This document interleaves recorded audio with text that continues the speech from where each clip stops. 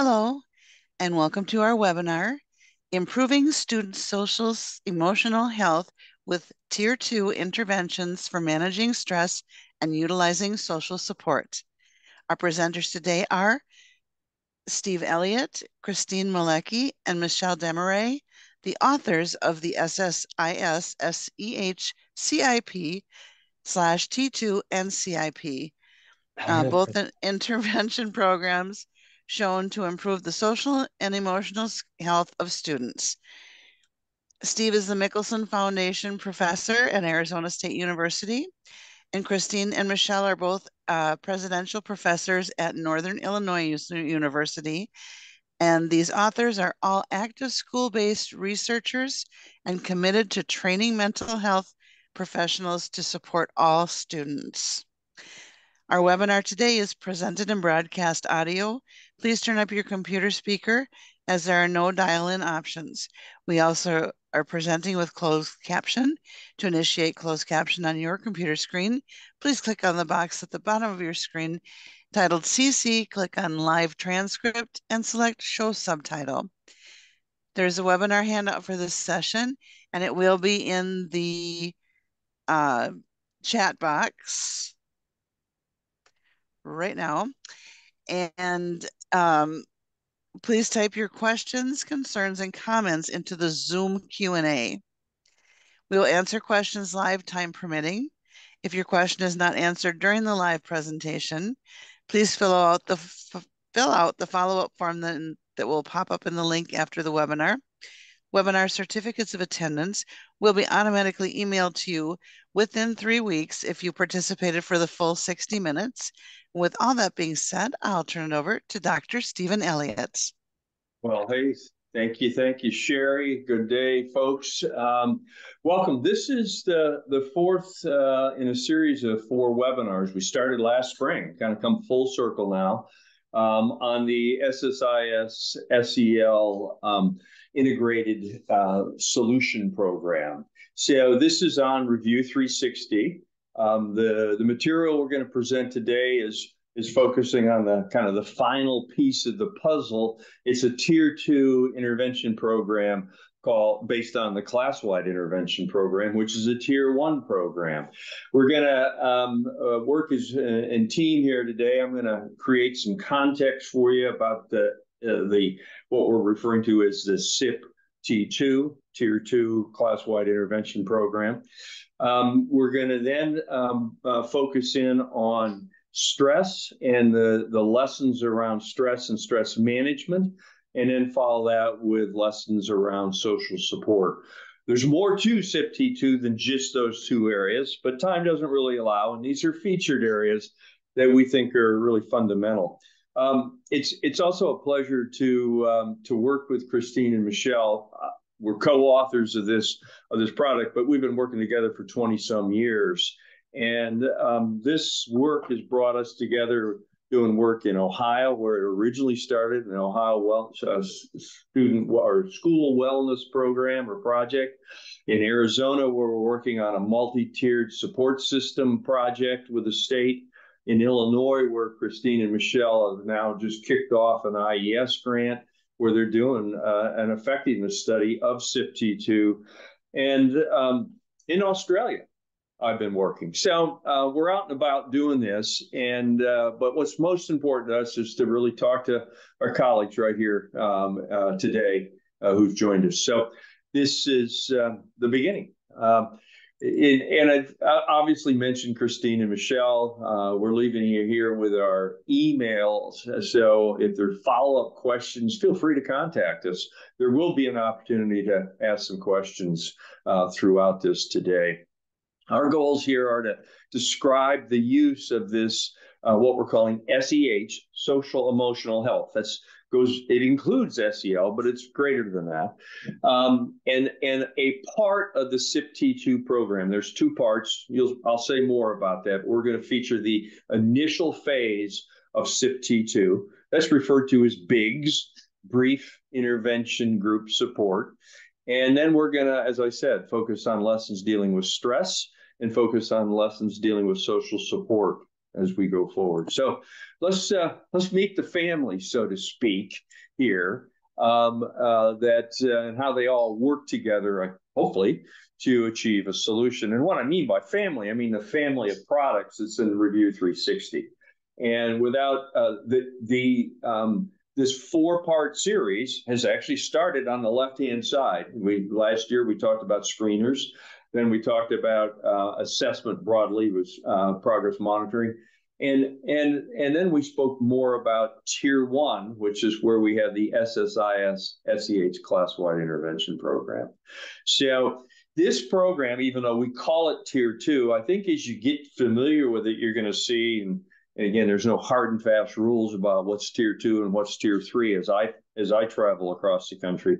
But I think you're going to find that it'd be quite useful for either tier two or tier three work. Um, these uh, these areas I'm now showing you the actual products, the covers, if you will, of the products, um, and you can see uh, that there are five pieces, a couple assessment projects, uh, three actually, and then two intervention projects. What's really interesting, important from our perspective, is these are all aligned with the CASEL model of social emotional learning. And they go beyond that, by the way, but they all feature uh, uh, elements dealing with the five areas emphasized both from an assessment standpoint, from an intervention standpoint with CASEL self awareness, self management, social awareness, responsible decision making, and relationship skills. And so it's it's a fully aligned system. What you assess is what you teach. What you teach is what you can assess, which is pretty powerful, pretty useful in terms of trying to figure out what's working. Now, CIP, CIPT2, I'm giving you a little warning here, right? Be aware. The CIPT2 requires training to implement with integrity. This isn't one of those things you just can kind of open up the manual and in 15 minutes be ready to go. CIP is kind of like that. The CIP program probably takes about an hour, an hour and a half to get familiar with the content. All of the content for both the CIP and the CIP T2 are online. So you got to allow a little time just to figure out how to navigate it and understand it. But there's some pretty significant skills necessary to work in the BIGS program, this the group that you're gonna that we're gonna talk about. It it really does require well-trained school psychologists or related mental health professionals to lead these groups. And these groups are generally going to be of between, we recommend, between four and eight or 10 students. Um, and so, who are these students? Well, they're going to vary as you go across the country, but these are students who generally had some difficulty in tier one. They might have some classroom management issues, they might have some learning difficulties, but they need, for sure, they need more support and more opportunities to practice and develop their skills. And so group leaders uh, really need to be good at working with children, managing children, teaching and delivering, keeping them together, and then learning the content. And we're going to feature stress content and social support content today. We think, based on our experiences in Arizona, Illinois, Ohio, that most people are going to have to invest about eight to 10 hours really to to absorb the the material and content. These there's online modules that we've created some 20 minutes long some 30 minutes long that literally pace you through all the lessons and the setup and the management of the CIP t2 program okay? So um, there's a theory behind this. There's a model that's driving uh, what we're focusing on. And you're looking at it here. The big orange ball, so to speak, um, stresses what? It stresses three principal aspects. We want to work with children to have them learn about managing their stress. We want to teach them actually a, a healthy behavior routine about managing stress. We want to work with them to recognize how to go about getting social support from from friends, from adults, from teachers that they work with, and also how to give social support. Those two elements interact, as you can see in this picture. Social support is, as Christine's going to tell you, is a stress buffer. Okay. Social support is uh, also really uh, one of those places that where, where a lot of modeling, a lot of learning about appropriate social behavior occurs. So our our overall set of guiding principles are to manage stress, to establish social supportive relationships, to refine actual social behaviors, social emotional behaviors. That's not going to be featured today, but uh, it, much of what we do in BIGS actually nurtures some really important social behaviors. And, and another really important output come is to teach children about goal setting. So if a child has some stress difficulties, we're gonna they might pick that as a goal that they want to improve their management of stress. Or if they have difficulty getting support or giving support, that may be a goal. But again, the overarching CIPT2 program focuses on all four of these areas. Okay? So BIGS lessons, that's that's the first part of CIPT2, BIGS lessons that, as I said, again, they're going to focus on stress, they're going to focus on social support. BIMS lessons, I haven't said anything about that. That's the second piece of the CIPT2 program. What does that stand for? Brief Improvement Modules for Students, BIMS and BIGS.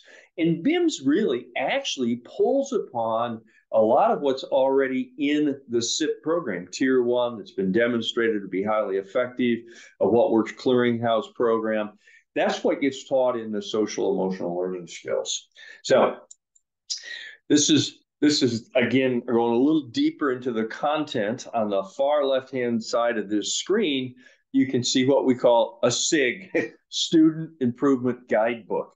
So in the CIPT2 program, in the first phase, BIGS that we're going to talk about today, there's some activities that's associated with each of the lessons many of the activities, as you're going to see, are really getting kids to be self reflective, to think about what stresses them, to think about what they do when they're stressed, to think about what their social support needs, emotional support, informational needs are, and how they could go about getting it. So there's a workbook activity that's connected to CIP.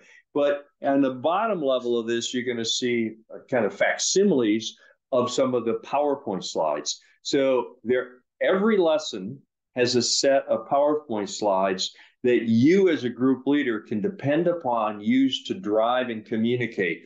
And, and, and uh, you can see uh, a little uh, images of, of, eight to nine students down there. Um, these are uh, embedded in animated characters that are embedded in the PowerPoints.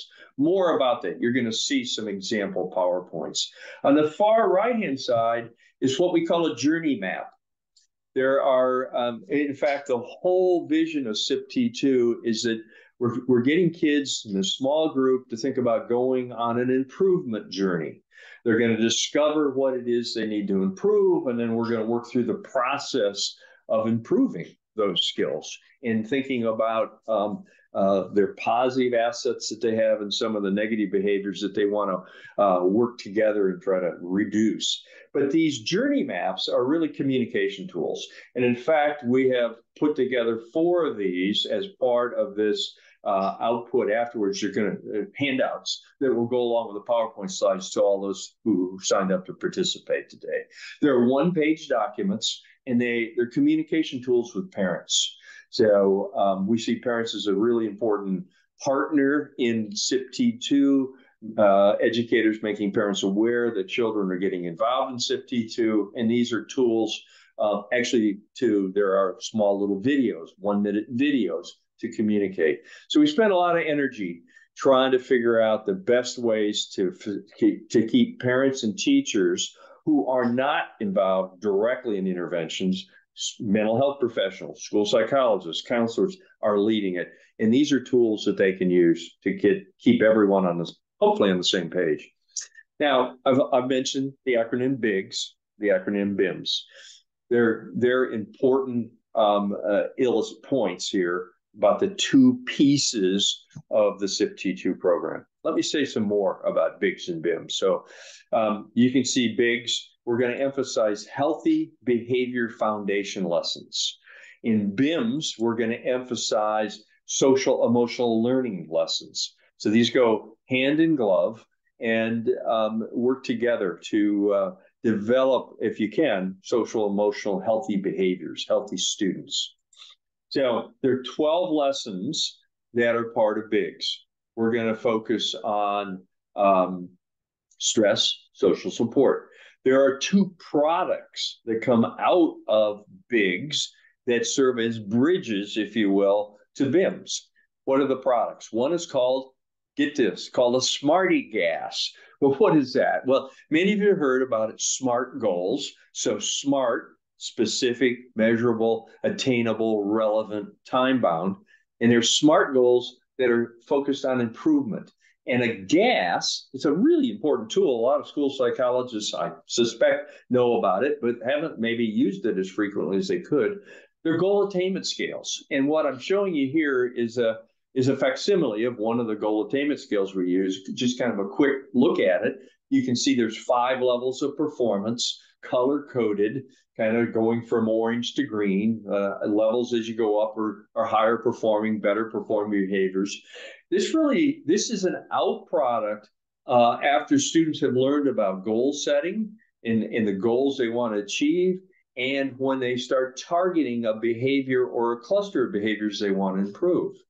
And, and to enact this goal setting activity and this uh, improvement journey, we, we create what's called a BIMS map. Okay, a BIMS map is really what is it? My action plan.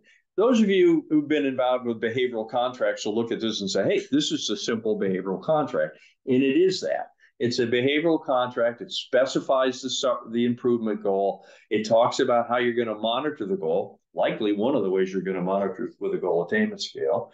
And it also talks about, you know, what are the resources needed to do this with parent sign off on it. That's the way we propose it. So you do bigs, out products of bigs after 12 lessons. Now you can do the kind of the math. Some people say, well, that's 12 weeks.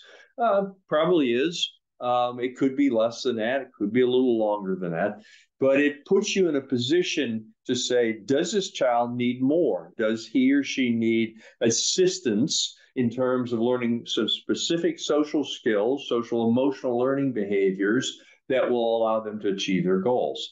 That could occur at a tier three. That could, tier, could occur depending on what's going on in tier one um, social emotional program in your school, it could occur back there. So there's some flexibility, is how we see it working. So these two products, the Smarty Gas, the BIMS map, lead to really the selection of a subset of SEL skill units. Okay? Now, so there's a lot of twos here. Tier two support, two phases, two key student developed products to achieve really what we believe would be some sustainable emotional behavioral changes. Okay? Um, a little closer look at both these out products of BIGS. Okay, the BIMS maps, it's kind of blowing up here so you can see it. These documents really represent a, a comprehensive behavioral contract uh, that helps operationalize the goal that a student has developed along with the group leader. A lot of group leaders are going to work with fourth graders, fifth graders, and have to help them nurture and focus on what their goal is, an achievable goal. Okay. And, and then um, work on actually developing a goal attainment scale. We expect, we give support materials, there's activities in the student improvement guidebook that helps students learn to write a goal attainment scale. And then you can see here, I've added in the goal attainment chart that helps actually monitor progress. And these charts can be kept by the group leader, by a parent, by a teacher, and or the student in documenting how they're doing with regard to their goal attainment scale. So that's that's kind of the context of of uh, CIP-T2 the BIGS phase in particular of CIP-T2. I just want to highlight, I've said this a couple times, a little bit about where this falls in terms of support systems, but um, many of us work in, um, in, in multi-tiered support services systems that um, are designed really to uh, maximize support for students, maximize opportunities for students to practice skills we like to think that CIP-T2 big support is, is what we call safer What does that mean? Safer. Well, CIP teacher support is really about attending to children's emotional and informational needs and, and creating a, in effect, a mini social network where there is the opportunity to learn and work together. And if you look closely at how we deliver both CIP Tier 1 program and CIP T2, we characterize them as being safer. That is, there's a clear sequence to them. There's active, they're active in, in uh, engaging activities that kids do. Um, they're focused, very focused on, as we've said, we've already privileged stress and so, social support.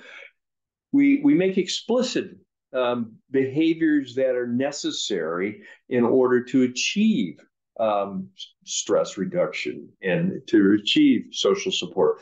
These explicit characterizations are often, in our in our case, are referred to as healthy behavior routines, and and overarching, we think this is very responsive. Why? Because we we we encourage kids to set goals. We encourage children to think about their personal assets, and then we want to create in the BIMS, the second phase, a personalized intervention program. So um, that's that's the vision, and it's a vision that I think we're finding in, across the states we're working in that fits very nicely into multi-tiered systems. So with that, I'm going to stop and I'm going to shift the focus now to um, Michelle and let her talk about understanding and managing stress. And take it over, Michelle. Okay, great. Thank you, Steve. So I get to kind of show and tell some of the pieces of the lessons from, as he said, it's a 12 lesson small group um, intervention. And this is from Stress is Lesson Three and Lesson Four. So, lesson three is really focused on teaching and understanding social support. And then lesson four is focused on helping kids manage um, and deal with that stress. I'm sorry, stress, not, not social support. So, how they're going to manage that stress. I love this content area because when we've been presenting it to different facilitators and social workers and school psychologists, there is a real need to help kids manage stress. Children, adolescents, all of us ourselves, there's high levels of stress. And so helping kids understand and manage stress is, I think, really critical to their success, as we saw in that model that Steve presented. So lesson three teaches um, about stress. And so some of the things you can see on these slides that the instructional sequence is up in the left corner. So tell, show, do. So there's, and again, I'm just showing you kind of a show and tell of some of the slides, but these are some of the key tell slides in lesson three where we're teaching kids about stress. And so you can see on the slide on the right, the top right, we're asking them what causes stress. And there are some ideas up here. Of course, there could be other things that they might talk about as well. But for example, uh, schoolwork might be something that causes stress. Um, being too busy, family stressor. So kind of helping them think about what causes stress in their lives. And then along with that, teaching them and talking to them about what stress feels like. Um, what if we have too much stress what can that do? And we talk about what it can do to our bodies our behavior our habits our moods and other kinds of things. So really again learning about what it is what causes it what it feels like. And as well there's a emphasis on that not all stress is bad. There is sometimes stress motivates us to action. And so uh, there's certain levels of stress that are okay but when it becomes, eh, you know, where it's having these effects on our mood, our behavior, our body um, that are negative, that then it becomes toxic. So you can kind of see that picture down there, helping kids differentiate between tolerable stress and toxic stress as part of that teaching to an understanding of stress. I love this um, part of the lesson, we teach them how to kind of gauge their stress. It's almost a thermometer of their stress level. So we use and we introduce this stress meter. So they can look and we talk about those different levels of stress that you can have a low stress zone. You might not be very productive in that level. You can have a moderate stress zone that's in the green area on this meter, and that that's a just right amount of stress. You're not overwhelmed, it's not affecting you negatively, but it might motivate you to action. And then obviously, we also have that high stress level at the eight, nine, and 10 which is a more unhealthy or toxic level of stress. So we use this meter to teach them about gauging their stress, and then it's actually utilized in all of the rest of the lessons. Um, where we have we ask kids their stress level before they start um, each lesson each week and have them gauge that on this meter. So it's a nice tool um, that can be used throughout the rest of the lessons. Related to that tool, we also, in the lesson where we teach them and try to understand stress, we have them take a measure of stress. Um, we call these in the um, in the materials, we call them reflections, but really when you see that, it's kind of a code word for taking a little assessment. So the students in the group, this is part of that SIG, that Student Improvement um, Guide workbook that Steve talked about. They will have this questionnaire they can answer some of these questions about stress. So, for example, over the past two weeks, I worried about things. I had a hard time concentrating. So, they those are a couple examples. They would answer these. The facilitator would help them, you know, answer those as well. And then, um, Steve, you can click the next okay. pop up. I think. Oh, there it is. Um, so also, um, we would they after they score it they can then graph it and look at where their stress level is to help them under, better understand their current stress levels and so this profile is also coordinated with that meter so the blue is the low level of stress the green is the just right level and then kind of the orange color is the too much stress so the main goal of this lesson is to learn about stress to reflect and think about am I experiencing any of these symptoms? And then get some feedback themselves about and plot their level of stress and kind of understand better if they're experiencing low, moderate, or high levels of stress on that. So that's all lesson three. And there's other things, um, we don't have time, but we also, in each of these, there's opportunities to practice, there's opportunities to model and role play, there's, they, there's activities to generalize. Um, there's some homework, which we call I work, that they improvement work that they do each week. So there's a lot of other components in each lesson. We're just kind of showing you the core features in each of them. So these are the core features of lesson four, which is on managing um, stress. And so here on these two slides, again, these are the tell phase. So we're kind of teaching them about ways to manage stress. And in these, we present five real broad strategies for managing stress. So here it can be connecting with others, which Christine's going to be talking about because later there are three entire lessons dedicated to social support. But that that is one way we can reduce stress is by connecting with others um, doing something they enjoy. So that can be something they enjoy doing by themselves or with others, like, you know, playing a video game, listening to music, playing basketball outside, or whatever it is, as one way to manage their stress. We also talk about re practicing relaxation strategies. And actually, there is an even activity in the slides where they do a body scan video and practice a relaxation activity together as a group. So there's opportunities to kind of dig into some of these strategies. Um, we also talk about taking care of themselves. So, just sort of preventative strategies like eating healthy, exercising, stretching, getting rest, all of that is important to manage their stress level. And then the, the last one here is changing or improving their thinking. So, this is really focusing their thinking from the negative to the positive. So, a little bit of, you know, cognitive behavioral therapy. So, if they're stressed and they're thinking, I'm going to fail my math test, to reframe that and think about something positive. I'm going to do my best as I can on my math test or something like that. So we teach these five, five broad strategies, but one of the things about these strategies is that you couldn't always do them. If you're about to go take a math test, you can't really engage in many of these activities right then. And so we also teach them on the next slide. Um, we teach them a routine. And so BIGS has a lot of routines, which are a way for them to remember some of these skill steps or activities. And so this in the lessons, this is really the first routine they learn. And it's called the healthy stress management routine. So basically, this is something they can do. I talked to them about this is something you can do anywhere. We had those other five broad categories, but this you could do anywhere without people really noticing significantly.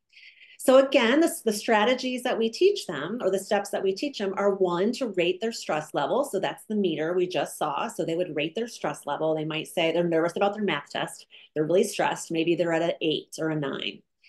Then we teach them a breathing routine. Now, this is actually a routine they've already learned because we teach them this in our very first lesson as part of something that we call an opening meeting. And it's part of every lesson. It's kind of a routine to get the, the lesson started each week.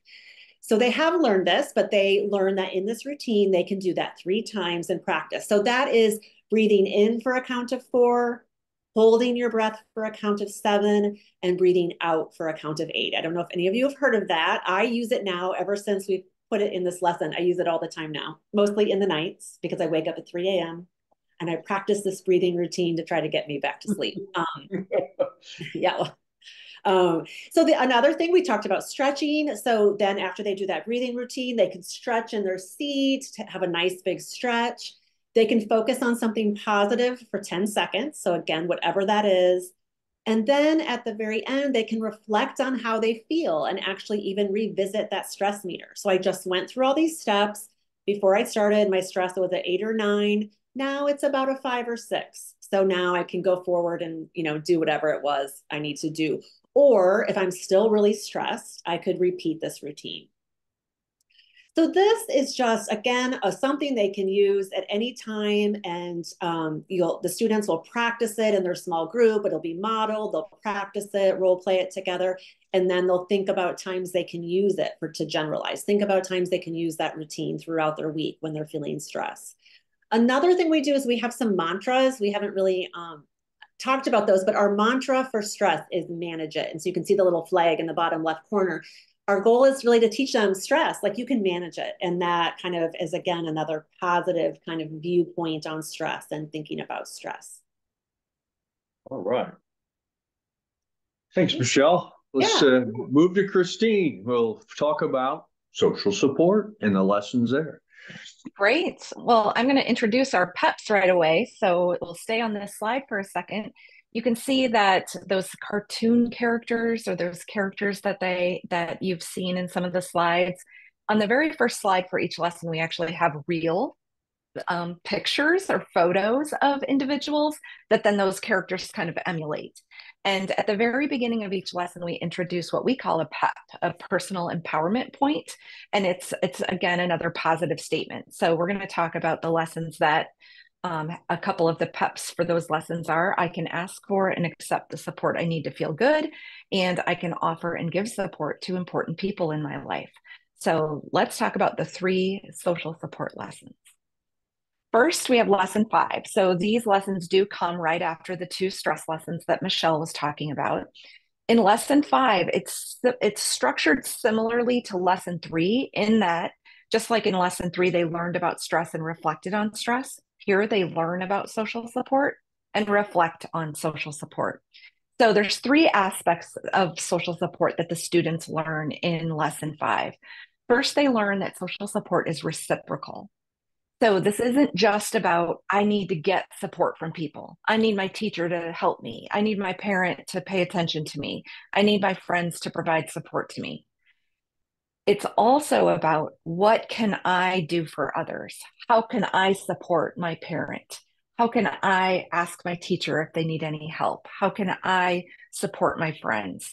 So they learn about social support being reciprocal, that it is that um, give and take, um, and that social support goes both ways. So that's a big learning objective for lesson five is learning that social support is reciprocal. They also learn about social support networks. So they reflect on the different people in their life that either they might be providing support to or those different people in their life that they might get support from. So, um, you know, it's just again reflecting. Sometimes we think narrowly about our social support network and we just think about our family and maybe our friends, but this is really having the students think about other adults in their life that might provide them support or that they can support, and other peers in their life. Stephen mentioned this before. What's neat about the 12 BIGS lesson is that it creates a mini social support network. So that becomes another source of support for the students and other individuals that they can provide support. Finally, we teach them about different types of support. And we've been doing research in this area since, you know, the mid 90s maybe the early 90s. I shouldn't admit that, but for a long time. And we know there's a lot of types of support, but we focused in for the students on emotional support and informational support. Emotional support is that caring, attention, um, feeling positive, and informational support is being able to have the information you need from those people around you. So is your teacher letting you know the information that you can so that you can be successful in the classroom. So they're taught about support and then they're going to reflect on their support. So just like they reflected on stress and graphed it out, they're going to reflect on social support. You can see that there these are just tidbits, but there's only eight items for accepting social support and there's eight items for giving social support. Four items are about an adult in their life that they might accept support from and four items are from a peer or a friend in their life that they might accept support from. And then on the right side we're looking at giving support. You think they think about one adult they might want to give support. Maybe it's their dad that they're thinking about giving support to. Um, or they are then thinking about a friend that they might give support to. And they're going to answer on these items. So for example if they're thinking about their friend number seven my friend gives me good advice. Uh, that that often happens. My friend often gives me advice then they would circle a two. So you you support them in this activity but they score it and then they plot it. So when they plot it they're able to visually see accepting support on the left giving support on the right and you can see to it um, from an adult and a friend and to an adult and a friend. They can see if their scores fall in the yellow range it means they need more or they need to give more if the score falls in a green range, it means they're pretty good in that area. So I think um, in terms of what we know about support, Steve mentioned that social support is a stress buffer, and that's true in a lot of areas. But what um, some of the main research findings around so social support is that what we call the main effect model or the general benefits model. We just generally benefit from having support in our lives and from giving others support. And so this helps students reflect on those areas to be able to see where they might want to beef, beef that up. Okay, so then we move into lesson six. Lesson six then is focused on the asking for and accepting social support, so getting support from others. And we do a number of activities, like Michelle said, there's lots of different ways that we, and it's very, it's safer. So it's, it, and it's explicit and sequenced and active. The students walk through the lessons and the different activities, building their knowledge and getting practice in this, in this area. So they think about how would I know if, um, if I need more support? You know, what what does that feel like? What does that look like if I need support? And then how do I ask for support? How would I let others know that I need support? So we talk about those things. We give a lot of examples. A, lot of times in these lessons and BIGS, we do a lot of examples and non-examples, which is a great way for students to learn a concept is by showing examples and non-examples. And then lesson six ends really with students having learned and practiced a healthy social support ask and accept routine routine. So the steps of this routine are decide that you need support, identify the type of support needed, ask someone for that support, and then accept the support and say thank you. Then we focus on um, giving other support in lesson seven. So offering to support and giving support to others. Same thing, lots of ways that they learn about it, that they see examples and non-examples, and that they they look at or they think about how would I know if someone needs support? How might I tune into that? Um, and then how how would I offer support? So those steps are decide if someone needs support, identify the type of support they need, offer the person support, and give the person the support if they accept it. What I love about this is that we really talk about the subtleties of giving support to others because people don't always want that support or maybe they want it, but not today. I've had enough. Like too many people are coming at me. Too many people are asking, Are you okay? Is there anything I can do for you? So we talk about that, that that's part of the skill is being able to read and being able to explicitly offer, but understand that they may not want to, that person may not want to accept your support at that time. And we really talk about that and what some alternatives are, what you can do then if someone says, yeah, no, I'm okay, not today. So I, I think that the combination of lessons six and seven and these two routines really provide students with tools to be able to benefit from what we know is really beneficial to their outcomes in many areas, which is social support in that reciprocal way, both accepting it um, and giving it to others. Super. And I think we're gonna, yeah, yeah, yeah. So this is uh, this is a point in the in the session that uh, potentially Lori, uh, who's been monitoring the chat box for uh, Christine, Michelle, and I. Um, are there questions that you want to direct to one of us, or some observations you've made, Lori, about uh, from participants today? Before we get into summarizing the session. Yeah, we did have one question about if this can be used in private schools and or private settings. Well, um, I guess it didn't direct it at anybody in particular, but sure. Um, I think I should let me let me define how we built this or for who we built this. We were um, this is a small group defined between four and ten in in our manual. This is for um, children, we think most likely starting in about fourth grade. We know there's been some places where people have used it in third grade. It's a bit of a language load, etc. on it. But part of part of why we situated it there too was thinking that when there's universal SEL programs, you really want to give a, chance, a child a chance to thrive and survive in those programs. And also, um, a lot of tier two programs in across other disciplines kind of get in place in third or fourth grade. So uh, I see no reason that this couldn't be used at all in uh, private schools or uh, agency-based settings where there's predictable groups. Group membership, I think, we don't have an answer, definitive answer out of the research on this yet but uh, it's it would be useful if you're thinking that that the the BIGS phase, that 12 lesson phase, is something you want to um, uh, strive for. It's useful to have that um, with a fairly stable group of students, as as Christine and Michelle both have indicated. What's what's happening uh, is that you're actually building a mini social support network. Um, we haven't shared with you all the details of an opening meeting and how we get kids together and that whole process. But there's a lot of opportunity to connect with peers. And in many cases, we're finding that kids that are that are suggested to be in tier two need that. That's where they're struggling. They're either withdrawn or they have some internalizing difficulties and don't get along well. So stability of this BIGS phase uh, uh, with whether it be four students, five students, seven students is desirable. Uh, other comments, Christine, Michelle, to that question? No? Okay. Anything else, Lori? Yeah, yeah, we just got an another question about um, if the lessons are meant to be done in any particular order or can you skip around? Yeah, yeah.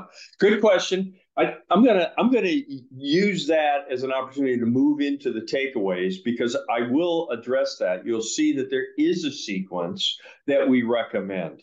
So um, I do know that some people really want to use stress, and they're going to say we're just going to teach the stress lessons. Okay, I think there's a benefit to doing that. But I think the larger benefit is to see, again, you can see how social support can be a stress buffer. So I wouldn't recommend jumping around. I would recommend sequencing, but I can see people doing portions of this and not all of it. Okay.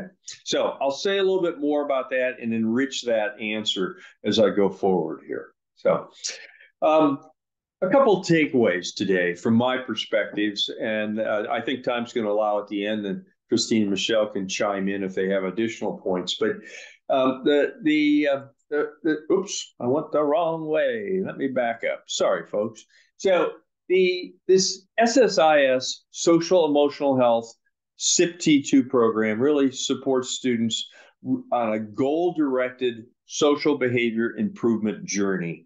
Okay, we we want we want to cultivate students to think about I I need to improve and I'm willing to join this group to to try to figure out ways to improve. Okay, that's the journey part. In the BIGS phase, which was featured today, uh, evidence-based practices uh, and structured learning activities from the uh, SSIS CIP are used to really create this mini social network where students safely self-reflect about their positive and potential negative behaviors. Uh, we work on learning four healthy behavior routines. You've been given insights into two of them today. Okay. So you've given insights into stress and seen the materials and social support. But the other two routines are about goal setting and about recognizing positive behaviors. Okay. And that positive behaviors can override and replace negative behaviors. So the, the BIMS phase, which was only introduced but not in any great detail, it follows the BIGS phase. It's assu- it assumes that a student now has designed a goal that they want to improve, and that um, the group leader or other individuals, might be a teacher, etc., would get engaged in working on specific social emotional learning behaviors that would facilitate achievement of that goal.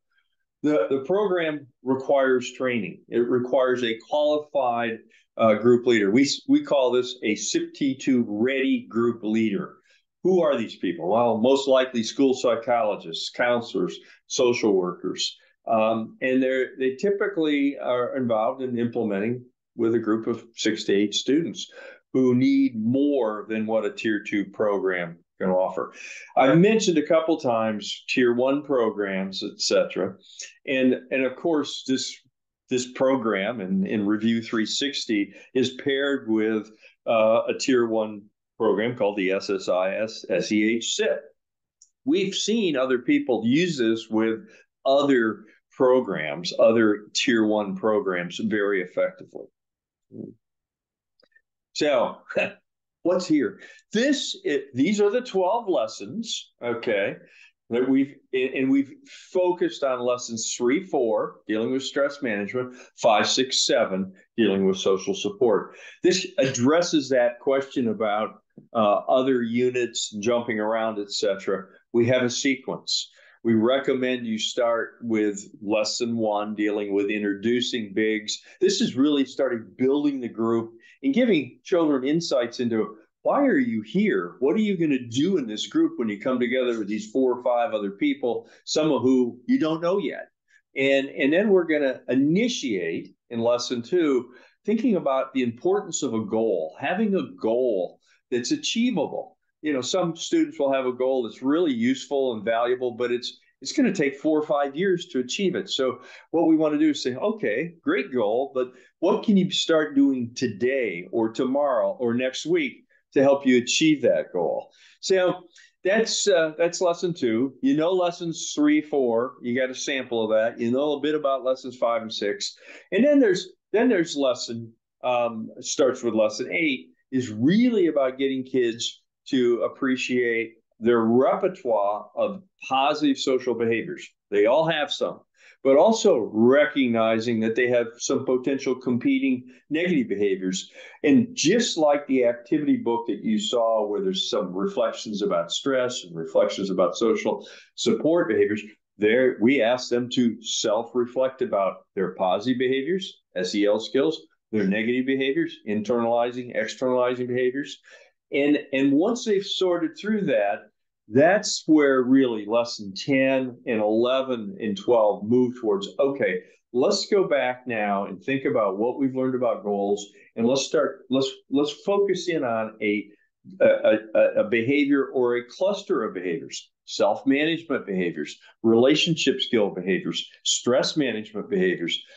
Those are choices and let's develop a goal to move forward. And and let's write that down. That's just where we're going to create that goal attainment scale that multi-level scale. That's where we're going to create a my action plan to bring this to focus to communicate with a parent or a teacher or another professional to help them move forward. Um, these are all part of what we what we call is this our, our set of four healthy behavior routines and then uh, along the way today, um, you, you, heard Michelle mention when she was talking about the stress management routine that we have a mantra. and that mantra is manage it. Well, we have a mantra for social support give and get it. We have a mantra, a flag here illustrated for, for goal setting picture it you know as we often we get kids to try to visualize what they'd be doing so that's picture it and then we um, have this mantra about focusing on positive behaviors to replace negative behaviors. And the mantra is positive behavior wins. So these are talked about a lot in the program from really from day one. Um, and and it's our way of of giving it a short little capture of these routines that we're trying to mention. So, with that, I want to now um, focus on just a couple takeaways about the manage it, okay, or stress manage it routine. Stress is something that we all experience, uh, and it's all around us. So we we really do need to understand it, and we need some go-to strategies. You and I, as adults, and our children around us, need some go-to strategies uh, that they can use. So you you heard today we encourage students to reflect on the causes of stress um, they get some self insight by completing an assessment. We want students to start using technically a hypothetical stress meter uh, as introduced by michelle the 10 point stress meter to, to characterize how am i feeling today? Low stress moderate stress high stress. Um, and we want them then to act upon that um, recognizing that low and moderate stress that can be tolerable and it's probably not problematic for short periods of time, but high stress is a problem unless it's very short, very acute. It can be a problem. It can be a problem that affects not just how you breathe and think and feel, it can affect your metabolic system, your adrenal system. So important. So high levels of stress are problematic. And we really want children and health professionals around children to understand that and have ways to communicate with children about it effectively. Okay? So, effective tactics for managing stress. They were laid out as part of what we call a healthy behavior stress management routine. Breathing was part of it, connecting with others, physical activity, good sleep. So that's that's the story in a nutshell about stress management, uh, stress management. Um, but as, as Christine and Michelle both said, we have ways in our 12 lessons actually to, to talk about stress almost every lesson. So this is a recurring theme, a way to get insights into it. And I think through 12 lessons over 12 to 14 weeks, children learn a lot about stress. They also learn a lot about social support and how to give it and how to get it. Okay. Social support involves really, as you can tell, self awareness and social awareness behaviors. Okay? It's reciprocal, as emphasized. It's um, it is reciprocal with peers, with parents, with teachers when it's working really well. It's reciprocal. So, what did we stress? We know that social su- support often can be a stress buffer, but it's more than that. Okay, it, we encourage students to reflect on this with a with a student improvement guidebook where they they kind of rate the two sides of social support, giving it and getting it.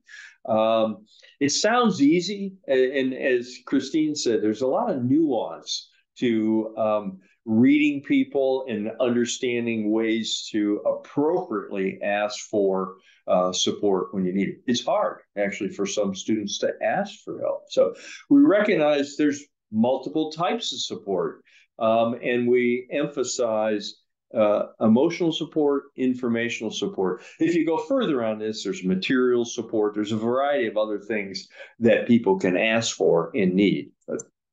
We examine the steps detailed steps. This is part of that safer model where we get focused and explicit, and we we were we talk about a sequence of you make some decisions, you identify what you need, you ask, and then you accept and say thank you, etc. So there is a healthy behavior routine for giving and getting support, and and all of this, as I tried to indicate at the outset, really folds into and nicely fits into a a multi-tiered support system. Uh, we believe that CIPT2 um, starts and is well situated as a tier two intervention program. As you work through BIGS, it clearly sets it tier two. As you move into BIMs, where you start individualizing or customizing it, it may become a tier three program in some way. So here's the, the take on this. If you've been with us through a series of the seminars we've done here on for Review 360, um, you you understand that there's a universal program, tier one.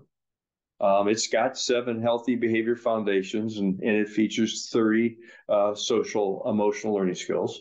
We feature today um, portions of the BIGS phase of CIP T2. Um, it's primarily for grades four to 12. We've seen people adapt it for grade three. We've seen people make other adaptations for uh, students with some with significant emotional problems and disabilities. Um, we know that um, when you go to the BIMS phase, you get quite customized, and that could fit, depending on where you work and live, could fit a tier two intensive intervention. So um, that's the intervention side of Review 360. If you take the step back and ask yourself, well, what else is in Review 360? We've covered these in earlier webinars. These have been recorded. You can go to the Pearson website and get access to this. But you can see actually that the the um, uh, Review 360 program is a true SEL integrated solution because there's assessments that align with the interventions. And uh, with that, I'm mindful of our time. Um, I don't know, Lori, is there, are there any other last minute questions or comments that you have uh, that you want to make today? Um, we had a couple of questions that we were able to answer in the chat. Um, maybe you might, I think you touched on most of those in your presentation. I did add a link, or I'll put a link to the chat um, to your to the list of Pearson's assessment consultants. If you would like some additional information, feel free to reach out to those individuals. But otherwise, I think we are we are good. Good, good. Christine, Michelle, thanks for joining me and Lori today. Um, and um, with that, folks, we say thank you for taking the time and learning about CIP T2. Thanks, everybody. Yep. Thank you.